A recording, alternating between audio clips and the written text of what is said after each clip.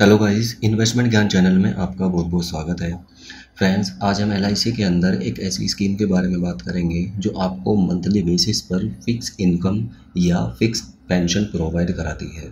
अगर आप भी किसी ऐसी स्कीम के अंदर अपना पैसा इन्वेस्ट करना चाहते हैं, जहाँ से आपको फिक्स इनकम मिलती रहे तो ये वीडियो आपके लिए बहुत इंपॉर्टेंट है। इस वीडियो में मैं आपको बताऊँगा कि एलआईसी के अंदर, किस स्कीम के अंदर आपको इन्वेस्ट करना चाहिए, जहाँ से आपको फिक्स इनकम मिलती रहे।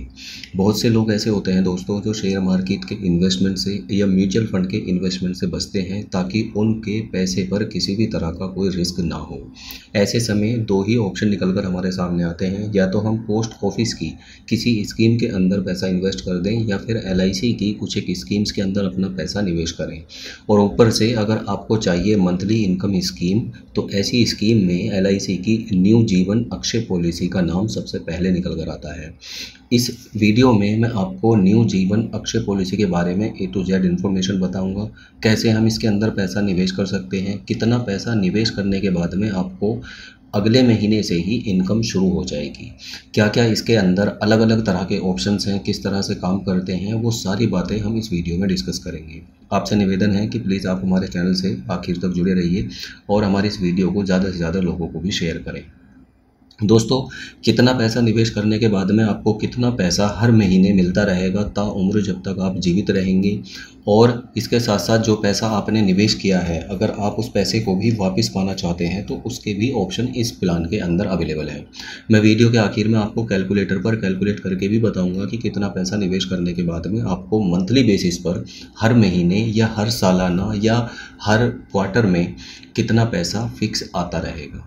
सबसे पहले दोस्तों न्यू जीवन अक्षय पॉलिसी की अगर हम बेसिक डिटेल की बात करें तो इसके अंदर आप कोई भी व्यक्ति इसके अंदर इन्वेस्ट कर सकता है। बशर्ते उसकी एज 30 साल होनी चाहिए। 30 साल से कम का व्यक्ति इसके अंदर निवेश नहीं कर सकता। मैक्सिमम एंट्री एज इस स्कीम के अंदर 85 ईयर्स है और मिनिमम परचेज प्राइस इस स्कीम के अंदर एक लाख पचास हज़ार रुपये है। मैक्सिमम की कोई सीमा नहीं है। मिनिमम एन्यूटी, यानी कि हर महीने कम से कम आपको एक हज़ार रुपये की इनकम मिलेगी ही मिलेगी इस स्कीम के अंदर निवेश करने के बाद में। क्वार्टरली आपको तीन हज़ार रुपये की या हाफ़ ईयरली अगर आप प्लान चूज़ करते हैं तो सिक्स थाउज़ेंड की और ईयरली अगर आप प्लान चूज़ करते हैं तो आपको बारह हज़ार रुपये की कम से कम इनकम मिलनी ही मिलनी है इस प्लान के अंदर निवेश करने के बाद में। अब दोस्तों, बात आती है कि अगर आप इस प्लान के अंदर निवेश करते हैं तो इसके अंदर लोन की या सरेंडर वैल्यू की क्या फैसिलिटी है? लोन भी आप ले सकते हैं तीन महीने के बाद में अगर आप चाहें तो जितना पैसा आपने निवेश किया है, उसके अगेंस्ट आप लोन ले सकते हैं, अपनी ज़रूरत को पूरा कर सकते हैं। सरेंडर वैल्यू भी इसके अंदर अवेलेबल है। आप प्लान को लेने के बाद में, कुछ दिनों के बाद में उसको सरेंडर भी कर सकते हैं। अब इस प्लान के अंदर दोस्तों, जो मैंने आपको बताया है, इसके अंदर अलग अलग ऑप्शंस आपको देखने को मिलते हैं। न्यू जीवन अक्षय पॉलिसी के अंदर अगर आपने एक बार पैसा इन्वेस्ट कर दिया तो इसके अंदर कई सारे ऑप्शंस देखने को मिलते हैं। सबसे पहला ऑप्शन है option A immediate annuity for life यानी आपने मान लीजिए, मई के महीने में इस स्कीम के अंदर पैसा इन्वेस्ट किया तो जून के मंथ से ही आपकी जो मंथली पेंशन है वो शुरू हो जाती है। और ये पेंशन तब तक चलती है जब तक आप जीवित रहते हैं। तो ऑप्शन ए के अंदर यही एक ऑप्शन आता है। ऑप्शन बी के अंदर दोस्तों आ, ऐसा है immediate annuity with guaranteed period of five years and life thereafter यानी इसका मतलब ये है कि अगर आपने पॉलिसी ली पॉलिसी लेने के बाद में अगर पॉलिसी होल्डर की एक साल बाद या दो साल बाद डेथ हो जाती है तो ऑप्शन ए के अंदर उसी समय पॉलिसी बंद हो जाती है। लेकिन ऑप्शन बी अगर आप चूज़ करते हैं तो इसमें आपको पाँच साल की जो पेंशन है, वो मिलेगी मिलेगी। यानी पॉलिसी होल्डर की अगर डेथ भी हो जाती है तो जो उसके नॉमिनी हैं, उनको पाँच साल तक जो एनी पेंशन है, वो मिलती रहेगी। ऑप्शन सी भी इसके अंदर अवेलेबल है। ऑप्शन सी के अंदर 10 साल का पीरियड होता है, यानी 10 साल तक गारंटेड पीरियड के लिए 10 साल तक पेंशन मिलती रहेगी। और अगर आप जीवित रहते हैं तो उसके बाद में भी मिलती रहेगी। लेकिन अगर मान लीजिए पॉलिसी होल्डर की 10 साल के अंदर अंदर डेथ हो जाती है तो भी 10 साल तक उसके नॉमिनी को पेंशन मिलती रहेगी। अगर वो व्यक्ति जीवित रहता है तो दोस्तों उसको सारी उम्र, जब तक वो जीवित रहेगा 10 साल के ऊपर, चाहे वो 20 साल जीवित रहे 30 साल रहे या 50 साल रहे, तब तक मिलती रहेगी।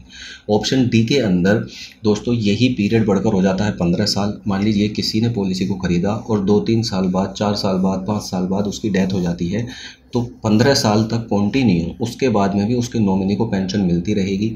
और अगर वो व्यक्ति पंद्रह साल से ज़्यादा जीवित रहता है तो उसको तो सारी उम्र पेंशन मिलेगी ही मिलेगी। ऑप्शन ई e के अंदर यही पीरियड बढ़कर बीस साल हो जाता है। ऑप्शन एफ़ के अंदर इमीडिएट एन्यूटी मिलती है लाइफ टाइम के लिए, और इसके अंदर, इस ऑप्शन के अंदर ये भी फैसिलिटी है कि जितने पैसे आपने इस पॉलिसी को ख़रीदने के लिए दिए हैं, वो सारे का सारा पैसा पॉलिसी होल्डर की डेथ के बाद में उसके नॉमिनी को मिल जाएगा। तो ये ऑप्शन ऑप्शन एफ़ के अंदर आता है। ऑप्शन जी के अंदर इमीडिएट एन्यूटी है। यानी कि जैसे ही आप पैसे जमा करेंगे तो आपको पेंशन तो मिलेगी मिलेगी।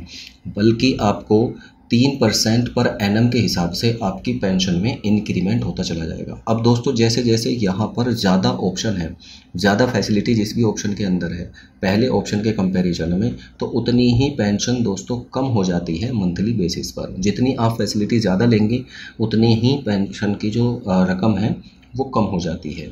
अब दोस्तों, अगर हम बात करें इसके अंदर तीन ऑप्शन और होते हैं ऑप्शन एच ऑप्शन आई और ऑप्शन जे ये तीनों ही ऑप्शन जॉइंट लाइफ के लिए हैं। यानी आप खुद के साथ साथ खुद के पार्टनर की भी अगर पेंशन सेट करना चाहते हैं तो ये ऑप्शंस उनके लिए हैं।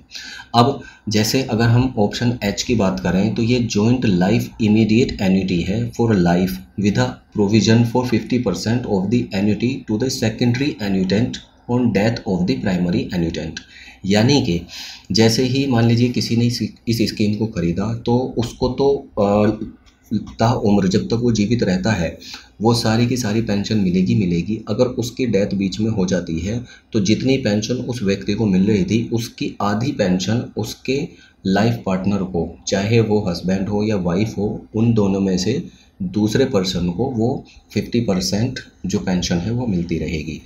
अब दोस्तों, इसके अंदर ऑप्शन आता है option I joint life immediate annuity है। जितनी पेंशन उस व्यक्ति को मिल रही होगी, अगर उसने ऑप्शन आई को चूज़ किया है तो उतनी ही पेंशन उसके दूसरे लाइफ पार्टनर को भी मिलती रहेगी। और ऑप्शन जे इसके अंदर अवेलेबल है। ऑप्शन जे के अंदर जितनी पेंशन उस व्यक्ति को मिल रही होगी, उतनी ही पेंशन उसके दूसरे जो लाइफ पार्टनर है, उसको मिलेगी। और जितने भी पैसे कि वो पॉलिसी उसने ख़रीदी है, वो सारे का सारा पैसा उन दोनों की डेथ के बाद में उनके नॉमिनी को मिल जाएगा। तो जब भी आप इस स्कीम को ख़रीदें तो इस स्कीम को ख़रीदने से पहले, अपनी मंथली इनकम सेट करने से पहले, आप दोस्तों इस बात का ज़रूर ख्याल रखें कि आपको ऑप्शन कौन सा सूट करता है, उसी ऑप्शन के अंदर आपको इन्वेस्ट करना है। अब दोस्तों मैं एक आइडियल अमाउंट के तहत आपको ये पेंशन बता रहा हूँ, आप अगर चाहें तो अपने पैसे को कम या ज़्यादा करके भी कैलकुलेट कर सकते हैं।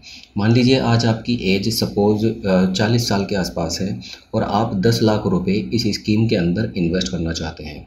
तो ऑप्शन ए की अगर हम बात करें तो ऑप्शन ए के अंदर ये दोस्तों जो जीएसटी के अलावा ये इन्वेस्टमेंट है, यानी दस लाख में आपको जीएसटी भी देनी होगी तो उस समय कितना अमाउंट होगा वो आप कैलकुलेट करके देख सकते हैं। मैं ये विदाउट जीएसटी आपको बता रहा हूँ।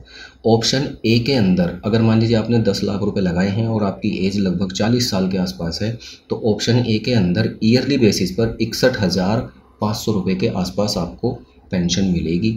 और मंथली बेसिस पर अगर हम इसे कैलकुलेट करें तो ये लगभग उनचास सौ पचास रुपये के आसपास कैलकुलेट होकर आती है। क्वार्टरली अगर आप इस पेंशन को लेना चाहते हैं तो चौदह हज़ार नौ सौ रुपये के आसपास आती है। हाफ़ ईयरली ये तीस हज़ार दो सौ रुपये के आसपास आती है। यानी आप एक बार इन्वेस्ट करने के बाद में किसी भी प्लान के तहत आप जो भी पेंशन आपकी सेट होती है, उसे आप मंथली बेसिस पर क्वार्टरली बेसिस पर हाफ़ ईयरली बेसिस पर या ईयरली बेसिस पर ले सकते हैं।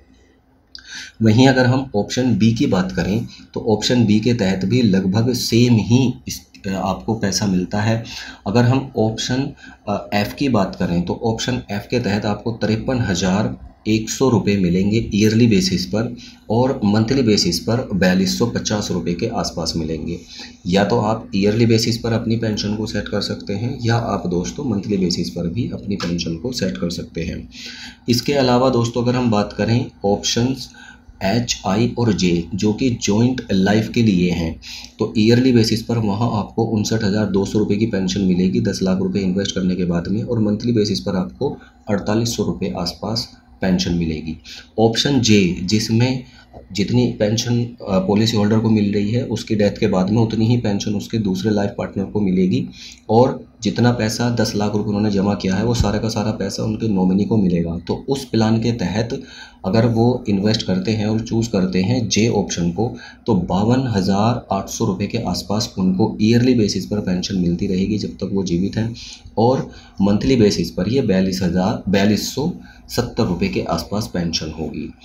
अब दोस्तों, इसके अंदर जैसा मैंने आपको अभी बताया है, सारी की सारी जानकारी आपको दी है, इसके अंदर जब भी आप पैसा इन्वेस्ट करें तो पैसा इन्वेस्ट करने से पहले इस बात को ज़रूर सुनिश्चित कर लें कि आप किस ऑप्शन के तहत अपने पैसे को इन्वेस्ट करना चाह रहे हैं कौन सा ऑप्शन आपके लिए सबसे बेस्ट है। मैंने यहाँ पर जितने भी ऑप्शन इसके अंदर अवेलेबल हैं, दस के दस ऑप्शंस को आपके सामने रखा है। आप इन्वेस्ट करने से पहले अच्छी तरह से सारे ऑप्शन को रीड कर लें और जो भी ऑप्शन आपके लिए सुटेबल हो, उसमें आप अपने पैसे को इन्वेस्ट करें। आई होप आपको ये जानकारी अच्छी लगी होगी। अगर वीडियो पसंद आए तो हमारे चैनल को सब्सक्राइब करें और हमारे इस वीडियो को ज़्यादा से ज़्यादा लोगों को शेयर करें। धन्यवाद।